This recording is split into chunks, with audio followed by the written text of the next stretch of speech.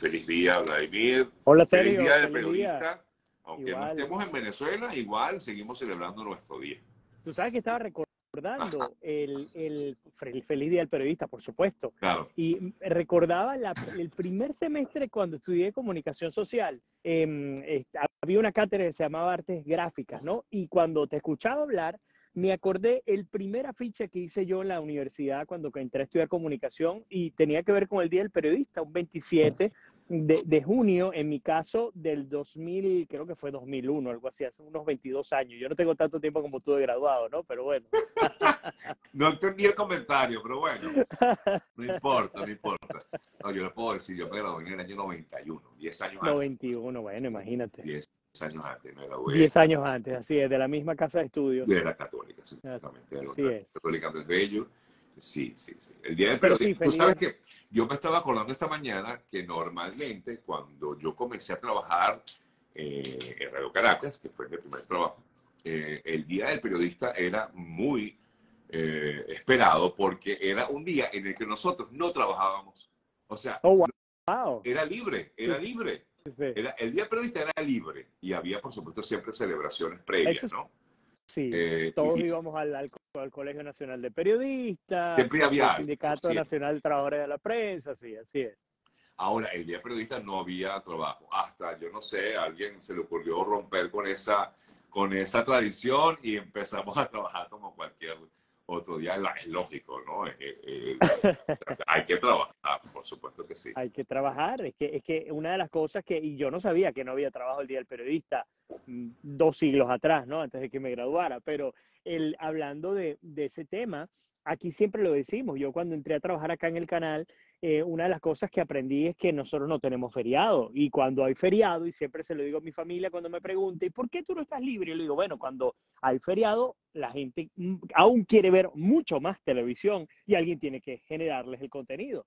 Entonces, pues es. para nosotros no existe feriado. De hecho, ningún día de los feriados en Estados Unidos, que son muy pocos, por cierto, Sí. eh, yo estoy libre. Tendría que pedir un permiso especial para poder estar libre. Pero bueno, Pero esa es de parte hecho, del te rol, cuento ¿no? que nuestro próximo feriado es el martes 4 de julio. de, o sea, el próximo julio, martes. correcto. Después, después cuadramos si Tú sí, vamos a tú trabajar sí, o no. porque tú eres tu propio jefe, ¿no? Eso es lo bueno. Exacto, pero igual yo te aviso si, si hacemos o no el Así programa. es. Bueno, Vladimir, hablemos de lo que es noticia, ¿no? Hay muchas, eh, por supuesto. Yo te había sugerido conversar un poco acerca del tema de Rusia, pero creo que este tema hoy está un poco bajo cuerda, tomando en cuenta de que el presidente ruso perdonó al líder de los del grupo Wagner. No, hombre, sí, vamos a, a hablar un poquito de eso y luego de- nos dedicamos al tema del conde y, y- y de todo esto de las primarias. Pero El de conde, ay Dios mío. ¿Qué, Sí. qué pre- qué No, vamos a empezar con Rusia. Vamos, con. Rusia rapidito, porque Sí. lo del conde ya, mi perspectiva ha cambiado, la- en una sola semana cambió completamente. Ok, ok, ok. Eh, a ver, tema Rusia es un tema que uno no, no termina de entender. Me hace recordar los teatros de operaciones que manejaba el chavismo cuando, y me perdona que aquí en Florida hay dos cosas que nos están matando, el calor y los mosquitos. Por cierto, cuatro casos ya de malaria diagnosticados aquí en la Bahía de Tampa. Cuidado, que hay malaria en Florida, la gente ni se imagina que eso está pasando y aquí, aquellos que viven en Florida, hay cuatro casos. Espero que esos mosquitos que me rondan no, no tengan malaria. Pero bueno, eh, hablando del tema de Rusia, les decía, es un tema muy interesante, pero que difícilmente nosotros vamos a lograr entender, no solamente porque no conocemos bien esa cultura y lo que pasa, sino porque normalmente cuando uno ve cómo actúan los regímenes autoritarios, eh, Cuba, Venezuela, Rusia, Corea del Norte, China, uno no termina de entender, a veces son montajes. No estoy diciendo que este necesariamente sea un montaje, pero hay dos versiones sobre el tema. La primera, que hay una debilidad Recordemos que ya han pasado 14 meses del comienzo de la invasión en Ucrania y los rusos, con el monstruo de aparataje militar que tienen, no han podido dar con Zelensky, no han podido matar ni siquiera un solo ministro de él.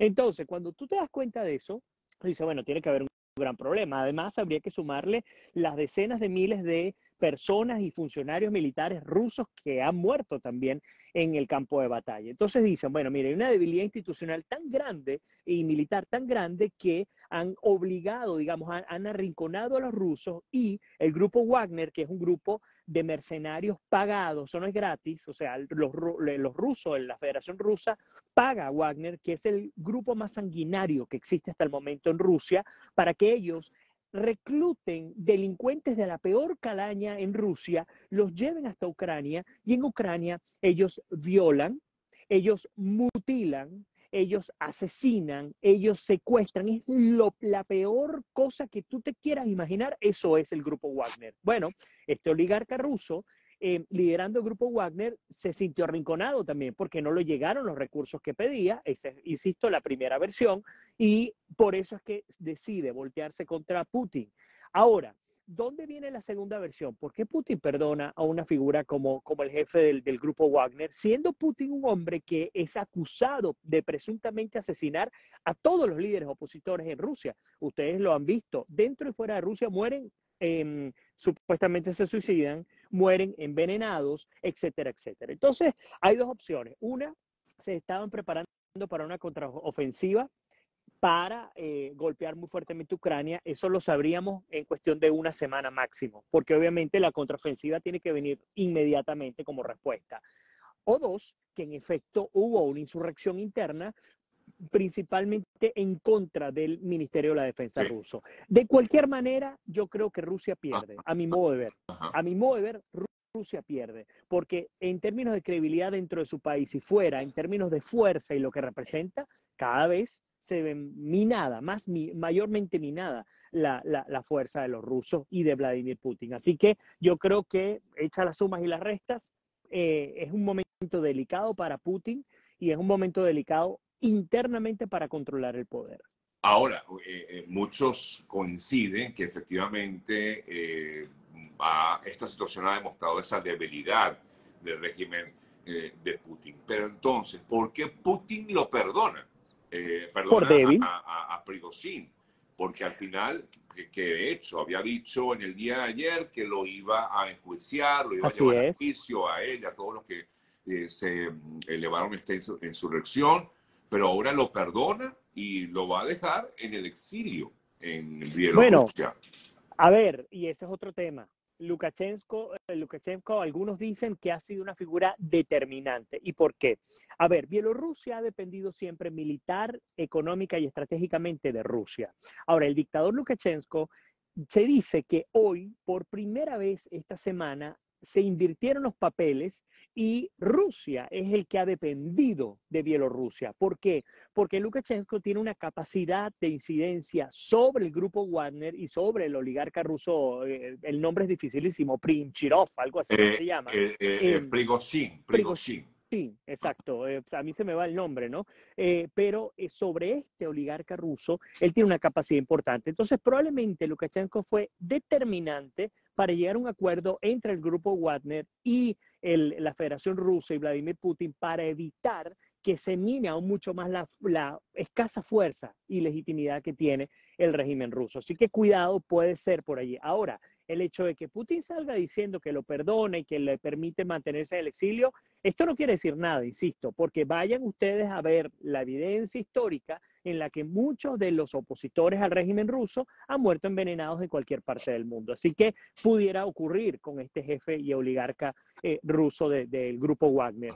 Sin embargo, insisto, la pregunta ahora sería, ¿qué ocurriría si el grupo Wagner definitivamente deja de luchar en Ucrania. Porque recuerden que hay dos tipos, cuando uno va a la guerra, uno tiene dos tipos de, estrategias. La primera, el ataque remoto que tiene que ver con misiles y esa es la primera etapa que toda guerra se lleva, toda guerra se lleva a cabo y ya lo hizo Rusia.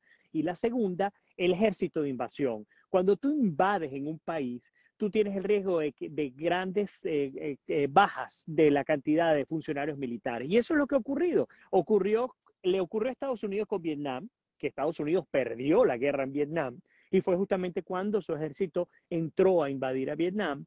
Y em, yo creo que está pasando. En el caso de Rusia. Entonces, por eso es que el grupo Wagner era tan determinante, porque era eh, lo peor de lo peor de la sociedad rusa. Agarraban a los presos, si morían o no, no, no, importaba, a, Vladimir Putin no importaba, nadie iba a llorar esos muertos eh, dentro de, los, de la comunidad rusa, y ahora no. Es muy distinto cuando tú lloras a tu, a tu, a tu eh, nieto, cuando tú lloras a tu hijo, que lo, lo, tuvieron que llevar a la guerra obligado, una guerra que incluso hasta el propio oligarca ruso del, grupo Wagner criticó últimamente diciendo, bueno, ¿para qué era esta guerra? Para darle fuerza al, al, al grupo militar, al, al Ministerio de Defensa y ya. Incluso que esta gente se lo haga la pregunta públicamente, imagínense ustedes aguas abajo, qué significa esto de cara a la propia población rusa. Bueno, Vladimir, vamos a dejar de lado Rusia por un rato para dedicar estos últimos minutos a esta situación que también es otro tipo de revolución que se ha dado en eh, Venezuela a raíz de lo que fue esta decisión que tomó eh, Rauseo, Benjamín Rauseo, de, de salirse de las primarias de la oposición bueno, para lanzarse de manera independiente, según manifestaban, manifestaba su grupo, eh, que el grupo que lo apoya, porque él no ha hablado, él todavía no ha dicho nada. Bueno, que él está aquí en Estados Unidos. él está aquí en Estados Unidos en este momento. El que ha hablado fundamentalmente ha sido su jefe de campaña, prácticamente que es Emilio Graterol. Eh, a ver, vamos, vamos a comenzar a disparar con todo y voy a, voy a dejar esto acá un momentico para, para poder hablar bien. Ahora sí, agarro mis dos manos, ya las tengo libres. Lo primero es que, eh, digamos, el juego adelantado está cantado. Cuando yo escucho a Graterol hablando y criticando a los candidatos opositores que han decidido sumarse a la campaña, criticando, aunque no dice el nombre, a María Corina Machado porque atacó a la Comisión Nacional de Primarias, criticando a absolutamente incluso hasta los opositores en general, a ti, a mí, a quien sea, y hablar de un supuesto liderazgo en el cual el conde del Guácharo o el Benjamín Rauseo está promocionando unos valores que son necesarios para recuperar el país, yo digo, o oh, bandera roja, alarma. ¿Por qué? Porque si bien en el caso de Benjamín Rauseu nunca se ha probado absolutamente nada de manera concreta de su relación con el chavismo en Venezuela y aún todavía no se prueba, quiero decirlo, es muy preocupante ver una figura que se está jugando esta opción. Es una, una digamos, una, una jugada adelantada porque definitivamente, ¿qué es lo que creo que va a ocurrir? Sencillo. Él no se lanza por, por, la vía de las primarias, se lanza independientemente. Las primarias la gana de calle María Corina Machado. Aquí no hay que discutir absolutamente nada. Es, no hay manera de que otro candidato te gane la primaria. Perdón, Capriles, perdón, todos los demás candidatos, María Corina se lleva la primaria. Ahora, María Corina, insisto, va a enfrentar al CNE, que el CNE va a inhabilitarla, escríbanlo, escriban lo que lo va a hacer. Ahora, cuando ocurre esa inhabilitación, mientras María Corina trata de movilizar a la gente para tratar de revertir esa, esa inhabilitación, entonces no solamente el conde del Guácharo, sino otras figuras van a surgir para hacer lo que siempre han hecho en todas las elecciones, que es dividir, que es minar. Y ojo, yo no soy de los que piensa que la unidad es el fin en sí mismo. Siempre he criticado la unidad cuando la vende la oposición, porque la oposición asume que eh, estar unidos, entre comillas, es eh, la garantía del éxito. Para mí no, porque la unidad que ellos entienden no es la que realmente eh, debería hacerse. Sin embargo, haciendo esa salvedad y esa crítica a la oposición, también entiendo que la estrategia del chavismo en Venezuela para ganar ha sido no solamente la trampa en una máquina de votación, sino lanzo tres, cuatro, cinco candidatos y se acabó. Y se acabó. Y con eso me basta. Buscar la división. Entonces, Buscar la eh, división. Me, me pregunto, Vladimir, entonces, Rauseo, si es una pieza en este caso del régimen venezolano? No puedo afirmarlo completamente, pero lo que sí te puedo decir es esto. Benjamín eh, Rauseo es un, hombre muy inteligente. Yo no creo que él eh, tontamente esté asumiendo que el pueblo venezolano, después de que escoja a alguien en primaria, eh, va a decidir irse con él en su inmensa mayoría. Él es un hombre muy astuto, un tipo de negocio. Ahora, ¿Qué puede pasar? Puede ser también una estrategia para arrastrar a las personas que él tiene, porque recuerde que él estaba de segundo las encuestas, y luego pudiera ser endosarlo al principal candidato. yo no creo que él se vaya hasta el final. Ahora, si él se va hasta el final, sabiendo que él no puede, no hay opción de ganar, entonces ahí sí te digo, le está haciendo juego al régimen. Es un tema de práctica, o sea, es muy prematuro decirlo en este momento. En este momento podemos lanzarnos todos como una estrategia política, tú, yo, quien sea. Y bueno, sí, vamos para adelante, pero habrá que ver qué ocurre luego. Y voy a cerrar el tema de primarias de esta manera.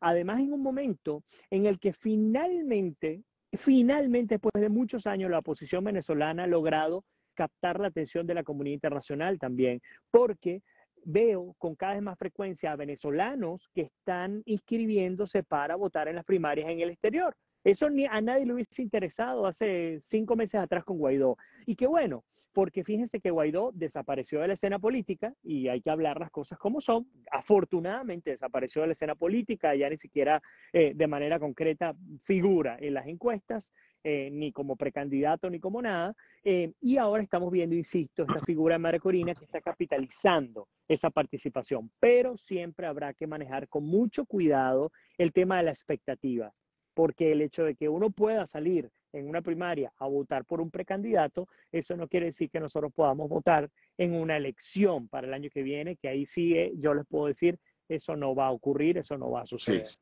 sí, eso se ve muy cuesta arriba. Pero como tú dices, de alguna manera sí ha generado ese interés por parte de muchos en el exterior que se encuentran fuera del país y, sí, se sienten motivados a participar, por lo menos, ¿no? Eh, claro, esto no implica que, como bien comentas, que participen en el proceso de 2024. Sí, y, y tal cual, tal cual. Y algo interesante, el régimen sabe, hace muchos años, incluso yo calculo por lo menos desde el 2006. Para mí la luna de miel con Chávez duró unos seis o siete años, incluyendo la intentona golpista y todo lo demás. Pero para mí Chávez logró un control por lo menos hasta el 2006-2007. A partir de allí, todas las elecciones las debió haber perdido el régimen venezolano, todas, a mi modo de ver. Ahora, creo que esta es la elección en la que aún mucho más débiles están, donde ni siquiera hay un interés político de apoyarlos a ellos por ninguna causa. Es decir, ese, ese núcleo chavista que existía en la base, de, la base roja de Venezuela, ya no hay, ya no está. Entonces, ese núcleo ya no le interesa lo que ocurra eh, con, con, con, Maduro, con la revolución o con la misión Robinson, porque ya nada de eso existe. Entonces, si, si en algún momento había una oportunidad de poder ganar, es este. Ahora, otra vez, yo no creo, no creo, es muy remota la posibilidad en la que María Corina pueda ganar y pueda cobrar. Para mí es prácticamente imposible. Y va a depender de las acciones de acá al 2024 que determinen el éxito y la capacidad de cobrar la victoria. Porque si no, Sergio, insisto, tú mismo lo decías, mira, vamos a enumerar las maneras en las cuales el régimen puede hacer trampa sin que nadie pueda demostrar que hizo trampa. Número uno, te lanzo tres, cuatro, cinco candidatos y ya, te dividen. Yo tengo un ejemplo, siempre lo he dicho, en Bolívar, en el estado de Bolívar, mi estado, cada vez que había elecciones a gobernador, siempre había dos candidatos principales, que era el candidato del chavismo, el nombre que fuera, y siempre Andrés Velázquez, porque siempre era él, ¿no? Eh, y ustedes ya saben porque lo he dicho aquí mil veces, pero cada vez que se lanzaba el candidato opositor, le montaban a cualquiera, a cualquiera. Y, eh, por ejemplo, la, una de las últimas veces era Rojas Suárez por el partido Primero Justicia, que hay mucho que cobrarle a Primero Justicia también, mucha mano rara metida en la política de la, en las provincias de Venezuela. Bueno, lanzaban al candidato, el candidato hacía que se dividiera la votación, perdía a la oposición, el candidato se, se desaparecía como si fuera una obra de magia. Entonces, en, nuestro caso igual, en términos nacionales, eso es lo que podría ocurrir. Entonces, primer fraude, lanzo candidatos falsos para dividir a una oposición, entre comillas, unida.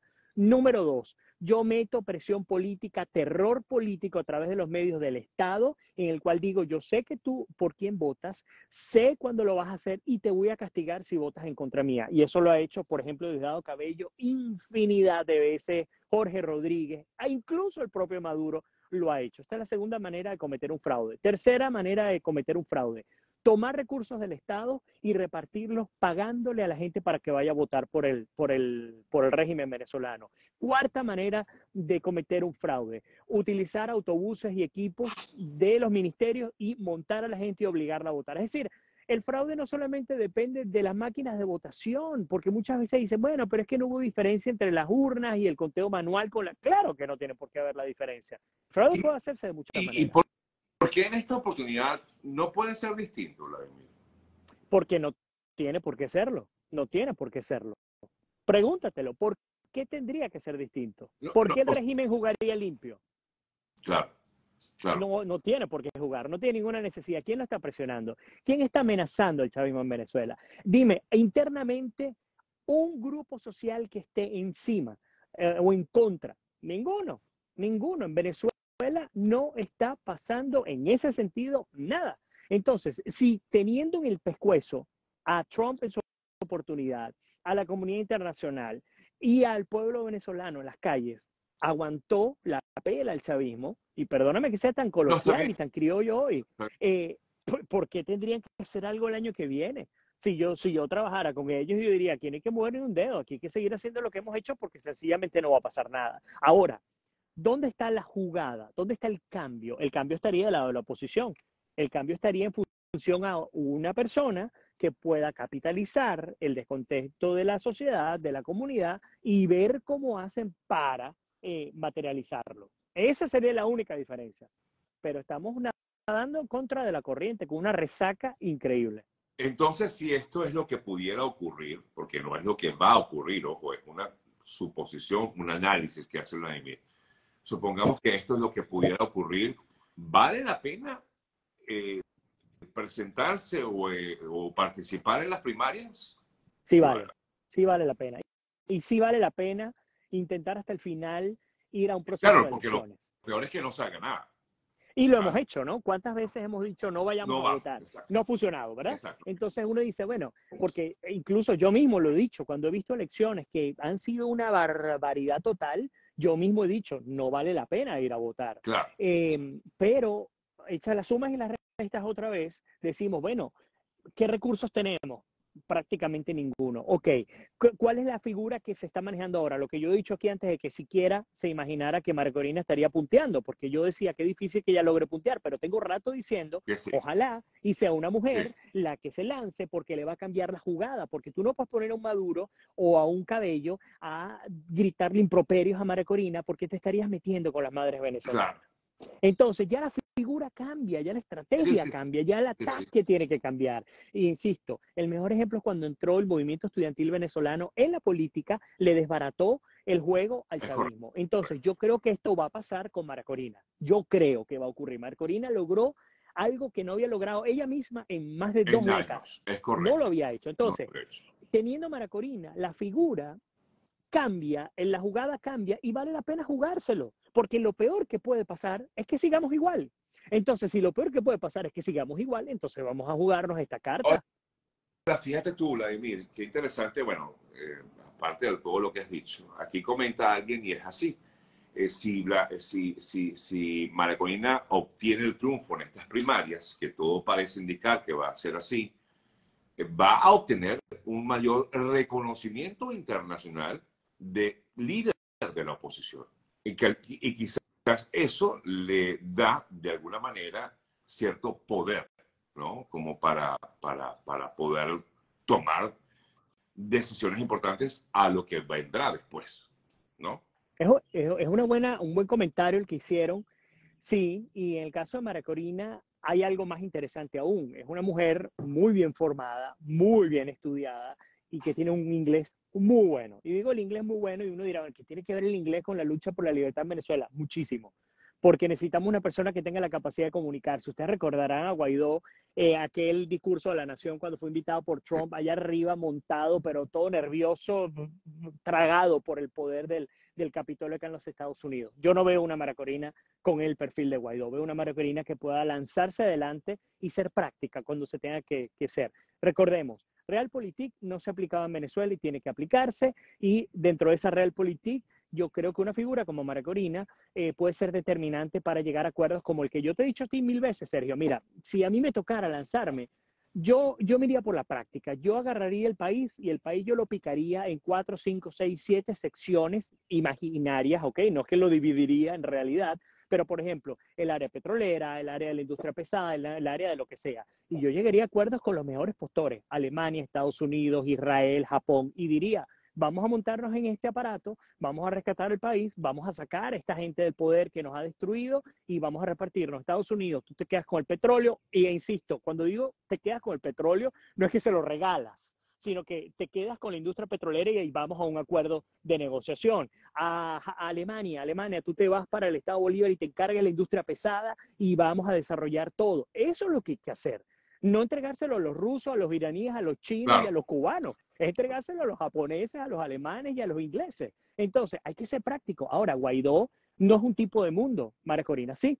Entonces, probablemente esa practicidad la podamos ver en el caso de ella porque ella conoce el mundo, ella sabe cómo se maneja. Y yo creo que eso es lo que nos hace falta. Mira, el país tiene las capacidades, tiene dos cosas que para mí son determinantes. La primera, capital humano, lo tiene tenemos profesionales dentro y fuera del país listos para reconstruir. Y lo segundo, tenemos recursos naturales, que es lo que menos me importa, pero lo tenemos en el suelo. Entonces, si nosotros combinamos esas dos cosas con quienes saben hacer dinero, pues entonces definitivamente el país va a lograr potenciar, avanzar mucho más rápido de lo que de lo que siquiera nos pudiésemos imaginar, porque lo tenemos, pero tenemos que ser prácticos, o sea, dejarnos de esos falsos nacionalismos que nos vendió Chávez, cuando decía que se había entregado, por ejemplo, en el sur de Venezuela, me acuerdo, los canadienses se les había entregado las minas de diamante. Yo estuve, hice un trabajo de campo como periodista en el sur del, del estado con los canadienses.